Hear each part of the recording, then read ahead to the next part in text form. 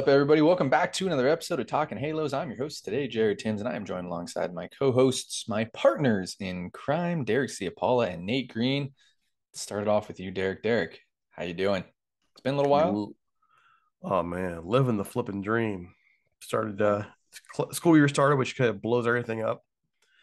Phones buzzing. Oh, podcasts. Like, yeah. and then you know it's, it's not happening. So glad we got time tonight to talk some some Shohei and some Arte and all kinds of stuff. Absolutely, absolutely. I heard some kids were trying to braid your hair. Yeah, that's all. I like seventh graders. Just a huge difference from going to high school teaching. these kids look at you like you're an alien, versus middle schoolers like hug me. You know, I want. to. Can I touch your hair? Can I touch your hair? Oh, can I braid it? Goodness. Can I braid it? No. Everything's different, man. Oh Ugh. Everything is different. Nate, I don't need to know how you're doing because we talk quite often, but it's great. It's great. You know, very typical. how he's doing. It's a very yeah. typical Angels way to end the season. I'm excited. We got a shot to hit my number. Playing some good baseball right now. Wait, what's your what what number? What shot of a number are you trying to reach? Don't here? don't get him started. don't do it. He was right last year exactly, and in terms of losses, right. wins. I had the exact yeah, win loss record last year. He is not happy we have a shot to hit the number again this year if the Angels continue to uh, to stay what? on this roll. So I had him right around 500. 70, you had him 75. Yeah, yeah, exactly. I had him 80 and 82 and 80, I believe. So we got a shot. Unlikely, but it's still possible if they can continue to win some of these games. Dude, there's still like 18 games under 500. I know, but this is the way they do things. They get hot when it doesn't matter, and it, that's just the way it, it rolls. They don't have enough gas in that lineup. I mean, honestly, they just beat the Yankees with no gas. So the Yankees have been slumping since the break, man. It's true. It's true. It's so, true, but well, guys, we'll get to talking about the Yankees and Angels shortly because we are actually going to talk about that. But first, first, first, first, we got to go through it all. Don't forget to subscribe wherever you guys are listening on uh, Spotify, Apple. Uh, subscribe if you're watching us here on YouTube as well. Absolutely love what we're doing. Getting close to 350 subscribers on Derek. I don't know if you knew that or not. Absolutely having a blast on YouTube. It's a lot of fun. Um, go ahead, drop a comment if you're on YouTube as well from where you're listening or where you're watching us from. Really, actually like to know that because I know we have um, viewers from all over the world. It's a lot of fun to see that. Um, as well as you can go ahead and follow us on all our social medias Twitter, Instagram, and Facebook just look up Talkin' Halos. You can follow myself on Twitter at Jared underscore Tims, uh, Derek at D Ciapola, and Nate at Nate Green 34. Guys, if you are listening to us on Spotify, Apple, or any of our sister networks, give us one second to pay the bills. But guys, let's go ahead and get this rolling here. Nate, you and I had a discussion Ooh, a couple weeks ago, absolutely got chewed out about uh, Shohei Ohtani not being the MVP. I told you, Nate, it's you, not quite over yet. You have him as the MVP. I know. Nate's got a phone right next to him. He actually has a landline as well, Derek, by the way. So that's unbelievable. Um, plus, not, plus, plus there. Not professional behavior here. I know. I know. Um, we talked about it. We did. I Nate, I told you that this all this MVP race was not over yet if you want to look at fan, Fangraphs WAR, whatever you, you want to look at, the race is still extremely close. Shohei Ohtani homered two nights ago. We were recording this last night for you guys. Aaron Judge homered as well. So, guys, we need to kind of get this. We need to talk about it again because I think it's a lot closer than Nate's making it out to be. Nate, you had Judge running away with it. At the time, Judge was absolutely lights out. He's kind of cooled down just a little bit. Um, Derek, I want your thoughts on this first. What do you what do you think? It's, it's a two man race, to be honest. I don't think there's anybody else in this MVP race. It's Judge or Ohtani. What do you got, Derek? I think. Are you are you calling him? Yeah. Are you asking me to say, hey, this is how it is now, or how it's going to be? If you had a vote right now, right who, now, who would you vote for? I mean, it's it's it's it's a lot closer than Nate's. Nate Nate had a judge running away with it. Uh, at, the time, at the at the time, he was sure. running away with Dude, it. Dude, he's got he 50 home runs, 50 home runs, 110 RBIs, a 294 average. Even now, like the Judges is having a historic season. Like I didn't look it up, but there's only a handful of guys to ever have a 190 WRC plus season um, that weren't on steroids, that weren't blank that weren't before you know the Babe Ruth era that weren't before so and so. There are only a handful of guys to ever do that. I don't even think Mike Trout has a 190 WRC plus season. Um, to put this in context for what Aaron Judge is doing. However, Shohei Ohtani is doing something that nobody besides himself last year, and not even last year, he's having this type of year because he's been better pitching. Um, he's even been very similar of a hitter. I think he ends up being a very similar hitter. It's I, I honestly like I think it's really, really close. I think it's closer than a lot of people are making it out to be. I think a lot of people have Judge, but it, I think you brought up a good point though, Jared. If the if we are putting an asterisk on the steroid era players, and let's just say for fun, the steroid era didn't happen. So Barry Bonds didn't hit 73, McGwire didn't hit as many. Roger Maris's number is the most home runs of all time, correct? So Aaron Judge has a shot to break a record clean. He would be the first clean player to break the record of 61. Um, I wonder how much bigger of a story this would be because everyone's talking about, you know, Shohei Ohtani doing things that hasn't been done before. How much bigger of a story would this be with Aaron Judge? Because he's not going to catch Barry Bonds at 73. But if 61 was the number, this guy would be on Sports Center. His at bats would be on Sports Center every single night. When's he going to hit the uh, the next one? Is he going to get to 62? So I he probably gets a little penalized because of what Bonds, McGwire, and Sosa did. But I just I'm just curious on like would that change the way the season goes? Because 61 would be the quote unquote most home runs all time. Well, I, I think that you really kind of I mean you got to throw in. I'm looking at last year, okay, for Shohei, and I'm seeing, you know, as the MVP, nine and two, three one eight ERA, Here's the interesting number. He had 23 starts last year. He's got 22 this year, so the numbers are very close. And if you look at his his pitching numbers, they are, in my view, better. He's got more strikeouts. He's got fewer walks.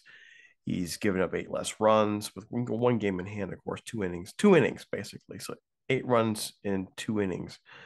Um, he's actually having a better pitching year than people than he did last year. And people probably realize.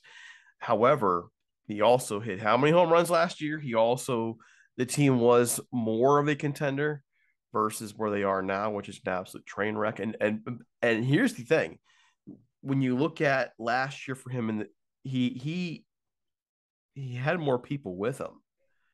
Jared Walsh was hitting better. Everybody's hitting better. He had he had more of a lineup. This year's lineup is hot garbage, and so I he's he's not getting pitched like he was pitched last year. So all that in mind, I think it's I think he's in it. I just look at the fact that Judge is in New York, they are a contender, and again, like you mentioned, that RC plus numbers significant. It's and 50 home runs. I don't, I, I don't see right now how Judge doesn't win. But Jared, I think you have a point. I think it's closer than people realize. Just I think it's, it's the last month. How does Shohei and this team perform last month? And because his pitching numbers are already better than last year. And can Shohei get to the amount of innings to be a, a guy that gets put on the leaderboard? He needs 162 innings to be put on the leaderboard, I believe. And he he needs about 34 innings to get on the leaderboard. Can he do that? I think that also will will bring some some more votes towards him because if, if you're looking at the hitting and pitching thing and he doesn't qualify as a pitcher uh, in any stats that's going to take some some things away from him just because okay he did some really good things but he didn't even qualify for the ERA title. He didn't even qualify for the strikeouts and all, and all those things. So can he throw 34 innings in a month? Absolutely. It just depends on how his how the off days are structured and when he gets to throw. Yeah. Yeah no i mean you look at it we got a month left in the season this is the storyline going down down the stretch here. I think we're going to talk about this probably every every week, just like we're going to talk about Arte Moreno every week. Um, just like we're gonna, I mean, just talk. We're going to talk about the off season. Just like I mean, that's this is this is what the storyline is going to be headed down the road. Uh, you look at it this way: he's probably got four four starts left. Would probably be what we're thinking. Uh, I'm can pulling get, it. I'm pulling the schedule up now. Yeah, I think he's probably got. I, I guess four starts. Um, and if he hits six more home runs. That puts him at what he hit 29 a couple nights. 35. Put him at 35, 35 home runs on the year with a 135 WRC plus compared to Judge's 190. He's at a 193, I think, right now. Um, Judge has a set 7.9 Fangraphs WAR. Shohei Ohtani combined has a 7.1. I think he's at a three. Uh, 3.1 on the offensive side of things, a 4.0 on the uh, pitching side of things. So I think it's the first one to nine Fangraph War wins. As weird as that sounds, like I, I, know that we're spitting out numbers that are really weird, and I apologize about the 13 week old puppy if you guys can hear him out there. But um, it is like I said, this is the storyline going down the stretch. Like who's the AL MVP? I like it's it's going to be a lot of fun. Derek, I know you're crunching numbers over there. Um, I think he's got about five starts left. Five starts. I mean, I think he can. I think he can what qualify. I'm seeing. I think I he think can qualify, I, and not only I think he can qualify. I think he has a chance to win the Cy Young Award as well. I know Verlander's been fantastic. Um, Shane McClanahan got hurt tonight. I, I don't know what's up with him. He was shoulder, not happy. He has I, a shoulder impingement. He'll be day to day for a little bit. But you also got to remember Dylan Cease has one, been two, lights out in the second yeah. half.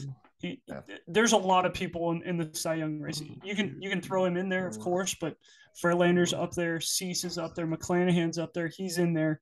So there's there's a bunch he, of guys. He actually, if I'm reading this right, he has a possibility, a small possibility of six starts. Chance to get 15. So, so if you think about this way, he's getting he, he might have 15 wins this season. He's at 11 right now, if I'm not mistaken. He could get 15 wins and hit 35, 35 home runs. I don't, I don't think it's the wins, man. I think it's the innings. I think once I think Nate's got this. Yeah. I think it's the innings. The innings are a big deal because that's that's going to be a, a big case, especially if you're talking Cy Young, Jared. Like the the innings is always going to be talked about when when you rank when you're talking Cy Young. That's fine. And, I know we're talking MVP as well, but both of those numbers are going both of those categories are going to want him to throw significantly more innings than 162 like the fact that Verlander and Cease could throw near over 200 is like okay, like this is significant. That's 40 so, that's 40 innings more to give up less runs. So I have him Nate and, and, and uh, Jared. I have him at five starts plus four days. So they I it wouldn't I would not surprise me so. if they moved the staff around a little bit with off days in there to get him that sixth start. Yeah, I could I could see that. Like I mean, if he's feeling regard, regardless, like he's he probably gets to 160, that 162 mark, so he qualifies. He's gonna have 200 plus strikeouts. He's gonna hit possibly 35 plus home runs. I mean, there's a legit like as good of a season as he had last year. He's been that much better from the pitching side of things this year, and it's it's just unbelievable. Like I know we had that conversation a couple weeks ago, Nate, and we got chewed out for it, and we said that we, Judge, you got chewed out for it. I apologize. I, I was on the same side. Like it's not over yet, man. Like there's a lot of baseball left. I actually think like like there is a legitimate chance that Ohtani wins, and there's gonna be a lot of upset Yankee fans. But like I don't really care about Yankee fans. So I think the one thing that's lost in this too is Aaron Judge is playing center field more than he's playing right field, which I, I don't think gets talked about enough. The fact that he's 30 years old and moving positions, the guy is six foot eight and playing center field at a high level, it's ridiculous. That's like is absolutely ridiculous. And we we can talk about the offensive numbers and things like that, and you can talk about Ohtani's pitching, but the fact that he is playing a premier defensive position and is moving spots right before free agency, I don't think that's talked about enough because he has been an excellent defender in center field. Derek, I'll let you finish this out. I know we have a lot more to talk about. Um, I right now I, I lean towards Judge, um, but I mean, that's the numbers. I mean, that's some. I'm sticking to it. I'm boring you probably. No, no, I like it. I, am I'm I'm with it. I like I said, I think the judge has it too, but like, man, dude, it's it's so close. It's so close. It's, so it's way closer than it was uh, two weeks, three ago. weeks ago. Three yeah, weeks ago. two three weeks ago when we talked. Yeah. So, all right, guys, we if you forgot, if you haven't, you know, listened to anything at all, if you don't know anything about the news, the Angels are possibly still on the possibility of getting sold. Arte Moreno went out and you know they said that they're inquiring about selling the Angels, Moreno family. Um, me and Nate gave our initial thoughts. I know Derek wants to elaborate on this. I know we got some interesting comments on on the Arte front. Um, first off, just want to say this here: the Angels and Derek, I'll get you here. The Angels aren't where they are now without Arte Moreno whether you take that good or you take that bad, Like I said, it's going to be taken both ways. It's, an interesting way to word right? that, dude. No, it is. It's going to be taken both ways. But like, yes, the Angels have been horrendous. You know, like really bad, bad news bears, and I get it. But Arte Moreno is a fantastic businessman and has put them into a spot where they can be bought by a multi don't multi, care. multi-billion. Don't care about that. All I care I know. about is win baseball I know. games. I know. He I know. doesn't win baseball. That's fine. Games. That's fine. That's fine. But we said it before. I got to reiterate it. Arte Moreno is a fantastic businessman and has done great things with the Angels brand in general.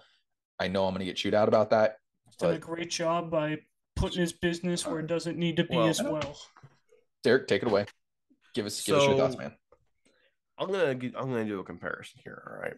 Because I'm sure that there are a few people out there who pay attention to a certain other entertainment brand that out there, and that's WWE, the World Wrestling Entertainment. Vince McMahon, the guy who who created WrestleMania, built this massive empire, and was known for his great ideas, for his cutting edge storylines, and so on and so forth. Okay, and then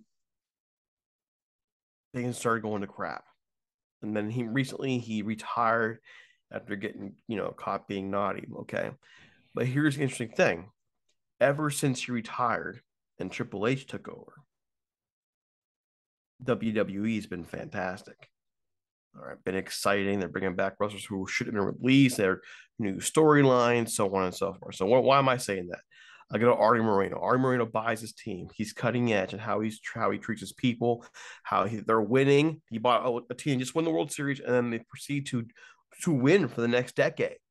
They do things differently than the rest of the American League West. They I mean they they gave the Yankees a run for their money every year. Um, but a little too hands on, like the Vince McMahon. A little d- d- does not really allow his people to do their jobs, which is what Vince McMahon was doing. And then here we go, frustration sets in, and the team has stunk since 2015. My point, my final point that Art Moreno is 76 years old. McMahon's like 77. Sometimes you're just around too long. Sometimes you are in charge of something to the point where you become just completely set one way in tunnel vision. And that's with the capital R. I think for the first decade he owned this team, he was a great owner who did a lot of great things to bring attention to the franchise, to make them into winners. But at some point, it, it as and again, this was really exposed with the Joc Pederson trade. That wasn't. We all saw it firsthand. We heard rumors, but we saw it firsthand. And I think that, in my view, just kind of from that point over, spoiled everything. It didn't surprise me. It was surprising to a degree, but when you really think about for about five minutes, the fact that he's selling or is looking at selling does not surprise me at all. If you know the guy's had problems with the stadium project down there, he's had problems with the team winning. He's been questioned. His entire leadership's been questioned. Quite frankly, hindsight 2020, I'm a little surprised he didn't think about selling sooner. So there's my take. I just see the two guys, Vince McMahon, age 77, Art Moreno, age 76. Both guys who were ahead of the game for a while, and now the game caught up to them. Yeah, I, I like that. I, I'm not big into uh, WrestleMania, WWE, or anything like that. Um, a little bit, you know. I thought he was going to go with his his other sport, honestly. I thought he was going to go Jerry Jones. Jones. Yeah, I was. Like, I thought Jerry Jones. He's was... the same. Like he yeah. reminds me of Jerry Jones 2.0. Jerry mm-hmm. Jones just doesn't hire GMs. He just kind of is the GM. So that's the only difference to me. But I mean, Jerry Jones won his Super Bowls early, hasn't been successful lately, and his leadership and all that's called into question. With you know, is he drafting the right guys? This and that. So that's where I thought he was going when he said he was going to do a comparison. But I like the WWE. That's good. Yeah. I mean, I look at it though too. Like Jerry Jones has been, like you said, the GM. He's been on this thing. Arte Moreno was sneakier, man. He would get a GM, and then he just would interfere and interfere. And then you hear all the stories. You read up a little bit on what WWE had been like the last couple of years. And you had the boss in the bag, Vince McMahon. You know, basically that old guy shot with his his fist. But every once in a while, the creator can do something, and, and they build a star here. They do this. It's the kind of the same concept. And in the end, Art Moreno undermined himself, just like Vincent Mm-hmm. Mann has undermined himself by not letting his people do what they do. Wrestlers, pro wrestlers, and the writers behind it, they're the ones who do the promos. They were being, they were being stifled. They were being creatively stifled, and to the point where they wanted to leave, like a Jon Moxley. So you look at the Angels and you look at Arden Moreno. I mean, I mean, for crying out loud, the Mets, the flippin' Mets right now with Billy Eppler running the show there are making a run. We have Billy Eppler here, and we saw lots of hope in Billy Eppler. And we figure out later on that dude was undermined at every step. And now we have Minasian. And I like a lot what Minasian's done. And how much has he been undermined? To be fair, Eppler does have a blank checkbook. That is the he's got a blank checkbook. That is the one difference between the Angels and the Mets for Eppler. For those people who are are upset that Eppler is winning and wasn't really winning with the Angels, I mean, he- can write a check for however much he wants and get any player he wants right now, which is There's which is no huge. such thing as a blank checkbook with the New York Mets. No such thing. They're, they're paying they're paying guys as much as the Dodgers. They- have the same payroll. For they're because they're going for it, but they'll go right back to it. That's how that organization runs things. We'll see. I mean, they they've never had an owner They got new had this much but- money. Yeah, He has the most money in baseball ever. we'll see. We'll see. You you you don't want so with with the Angels, and like I said, we're gonna talk about this for for months to come until it actually happens. Um, you want somebody that lets people do their job, and that's what Steve Cohen's doing. It feels like to an extent. Yeah. Now, now, what will Steve Cohen do if the Mets don't win this year? What Mhm. will Steve Cohen do if the Mets don't win next year? You know, like then does he turn into the GM? Does he turn into Jerry Jones? Does he turn into Arte Moreno? Like, I don't think that I don't think that happens. I think he's I wouldn't say smarter than those guys, but like he could very well be like, okay, who are the big name free agents? Um, I want this guy and I want this guy and I want like continue and continue, and continue. So but the different how the difference between Steve Cohen, what Steve Cohen would do and what Arte Moreno is doing is a little bit different because Steve Cohen want is pushing, going and getting money. Um, by the way, I mentioned this last time. The only two owners that vetoed Steve Cohen um, gaining ownership of the Mets, uh, Baltimore, uh, Steve Elias, I think his name is Matt, Mark Elias, Matt Elias. I don't know his name is. It's Um, Elias. Elias. It's Elias though. Um, and Arte Moreno. So tells you something there. They knew he was going to go spin. Arte doesn't want to go do that. Um, besides the point, besides the point, um, I want to take a step back. Derek, you brought up really interesting points about the WWE bringing in um, some old faces. That is the number one thing that I think I am the most excited about. I take that back. I want to see the Angels win. Um, but one of the most excited things I'm I, I am excited to see um, the Angels do is bring back a lot of their former, you know, Jered Weavers. Uh, Rod Carew has been a has been a huge vocal vocal point on social media about the Angels and uh, already selling the team. Weaver has been one of those guys that said like I'm not I'm not allowed back. Uh, Ad- Adam Kennedy, David. I mean, just like the names go on and on. Chuck Finley didn't had never really wanted to be associated with the team. It felt like um, he's slowly been working his way back. I don't know if that has anything to do with Arte or the way he uh, the, the Disney left him or anything like that. But uh, it, it just feels like you know they could do so much better of a job. Like why is 15, 16, and 17 not retired? You know, like little things like that. Like Why is 36 not retired? It's embarrassing Exactly. that Jered Weaver has not been honored for for And- what he did in, in Anaheim. He he took a pay cut. He took a is it- hometown discount. Like th- this guy was. is the- it Arte the though? You know, like is is it actually Arte? Like we'll find out. it is already. We'll we'll find out for sure. You know, but like those type of guys for sure. Like you'd love to see him back. Like if you had those guys in the house all the time, you know, like as ambassadors in a sense. Like his Weaver's still in the area. He's he's a Long Beach kid. He's been he was around forever. You know, so you know he'd want to be around the stadium as much as he can. But I don't think he wants to come back because of certain things. You know, I think you So- already answered your question by talking about Rod Carew. The Yeah, fact Rod that Rod Carew. Carew has been so vocal about how much the Angels have been a thorn in his side since Arte Moreno has taken over. It's pick one. You get to be an Angel fan or a Twins fan. You can't be both. And he's like, I played for both orgs. Like I, I loved both orgs. Why can't I be here when I want to be? Why can't I be there when I want to be? And I, I think there's one person who's been very vocal about not wanting him in the building, and it's been Arte. So I, I think that the Salmons, the Andersons, the Erstads, the, the Weavers, all the guys that we want to be honored, you don't even have to retire their numbers, just honor them. Like just just bring them out and tell them thank you. Like, yeah, you brought them out for the 2002 World Series, but that was like a, a team day. They they deserve their own day. The way that they had helped this this group, especially an Erstad or a Salmon or an Anderson or even a Weaver, because these guys were the reason the Angels were good, and they were homegrown guys. It it was it was fun. So I, I do think you already answered that question, Jared. And just to throw something out to, I mean, probably first two, I forget now. This the last couple years been a blur. Um, but I sat down with CJ Wilson a couple years ago for our podcast, and talking with him about his relationship with the franchise, it seemed, and I, I probably the mistake I made in there, I didn't zero in more, I didn't poke around a little more at it, but I really got the impression like you know he wasn't really wanted around. I'm not I'm not quoting him. That's just the impression I got. And that seems to be the feeling. Like you guys are you guys are even kind of perfecting that. I think that that in sports, one of the biggest failures organizations have in terms of public relations is that the Rams had that same problem for years.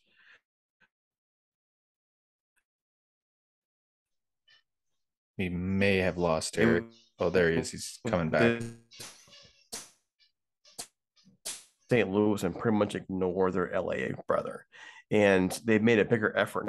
I was talking the whole time. Can you hear me? Yeah, we're good. Okay. Um, I'll just trust. My point is just that you know the Rams had the same problem. They had issues with it. Um, other franchises, and and once they bring everybody back, everybody's like, yes, yes, they're all back. They're all they're all in, and it makes a huge difference with fan with fan um, relations. It may, it matters, and so, uh, you know, but also another thing too is, I think we've talked about it. Like, let's just say Stan Kroenke buys the Angels, or Steve Ballmer. It'd be interesting. I know that's something that Jared and I would be super excited about. I'm sure you would be excited as well, Derek. Derek, we're losing you on. We're, we're, oh, we're losing. We're losing Derek on the Wi-Fi. They the Angels. I don't know what to tell you. So Nah, let me good. let me just, just if you get me, you get me. You don't, you don't. Okay.